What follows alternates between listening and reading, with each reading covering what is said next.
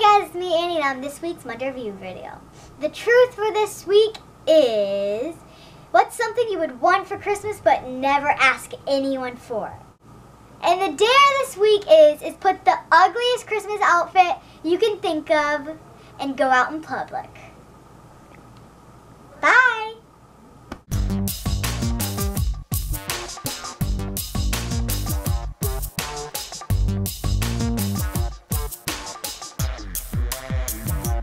Bye.